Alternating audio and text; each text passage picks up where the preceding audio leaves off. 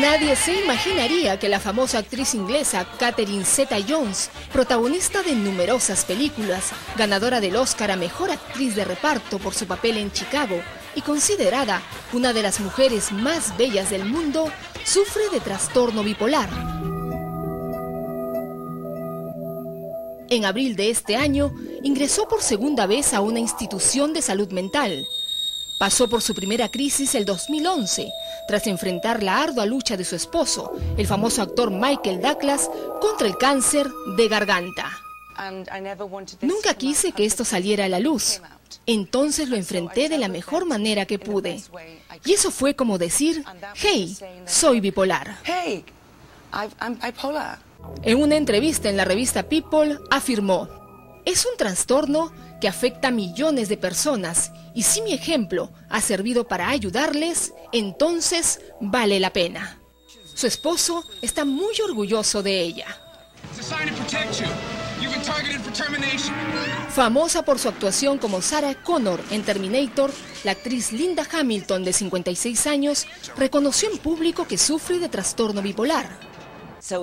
He sufrido depresión por muchos años en mi vida, mucho tiempo antes de tener el diagnóstico y cuidado apropiados. Carrie Fisher, recordada por su papel de la princesa Leia en la Guerra de las Galaxias, el actor Ben Stiller y Jim Carrey también lo padecen. Pero, ¿qué es el trastorno bipolar? Es una enfermedad crónica. Las personas que la sufren experimentan cambios de ánimo poco comunes. El paciente oscila entre una alegría desmesurada a una profunda tristeza. Que se caracteriza por episodios de gran euforia, de gran alegría, de verborrea, de ideas fugaces, de eh, grandiosidad y que la persona pierde el sentido de la realidad y puede perder el juicio en ese estado. Y otros periodos en que es lo contrario, se pone completamente deprimido, este, con retraimiento social. Teresa Feijó es una mujer de 46 años y hace 20 vive con trastorno bipolar. Sí, era bien, bien, tedioso, sobre todo en la, en, euforia no, porque te sientes divertida, no, no, mucho, ¿no? La depresión es lo más feo, sientes la angustia, los nervios, este, ideas negativas, o de repente que, que alguien te quiera hacer daño. Ha pasado por diversas crisis y confiesa haber cometido locuras. Por ejemplo, estaba, yo soy piorana, eh, un momento de, de, la euforia dije, bueno, ya vengo, y me salí a la casa y me fui tirando, tomé un taxi y y le digo, llévame a la carretera que me voy a Lima, pero no tengo plata, no te pago, discúlpame. El taxista buena gente me llevó a la carretera, tiré dedos y hasta Chiclayo, ¿no? Toda la noche viajé tirando dedos hasta Chiclayo, tenía hambre, tocaba puertas, pedía comida, lo que les sobras, fruta, lo que me pudieran dar. Eh, y la noche no tenía donde dormir, me fui al parque, eh, busqué un chico, este, no tengo donde dormir, era drogadicto, dije, sí, yo te llevo donde yo, donde yo vivo, que era un basural con un colchón, en una casa vieja, una abandonada, y ahí dormí. O sea, todas estas cosas irresponsables los haces porque no eres consciente de la enfermedad. Ahora ni lo que haría todo eso, pues no, tú, quieres viajar, tienes plata, pones plata para el hostal, plata para el pasaje, plata para la comida. No, un bipolar no, no se mide en nada. Gracias al tratamiento ha mejorado mucho y se siente bien. Se gana la vida leyendo cartas en el Parque Kennedy en Miraflores. Uno de sus sueños es poder informar y ayudar a las personas que sufren de bipolaridad. Eh, sí, hacer una ONG para bipolares, eh, pero al inicio sería una página web para contactar a la gente, para ayudar a otros bipolares que no vivan lo que yo he pasado, lo que muchos bipolares viven, detectarles a tiempo la enfermedad, que, eh, la, ONG traería gente, doctores del extranjero para que curen, pedir medicinas, pedir fuentes de trabajo también. Padecer esta enfermedad le ha costado al conocido actor mexicano Ari Telch no solo la imposibilidad de mantener una relación afectiva de pareja, sino sobrellevar el trastorno que le ha producido en todos los aspectos de su vida. sencillamente la riego, la he regado estos dos últimos que me casé y voy a rectificar en el camino, eso espero.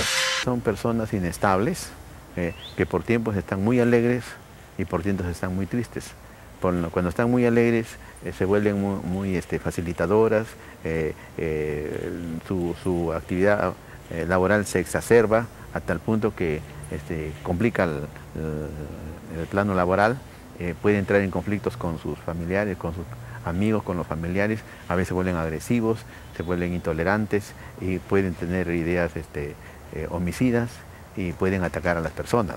Y en el lado depresivo, bueno, se aíslan, son tristes, no hablan y pierden el ánimo y están apáticos totalmente.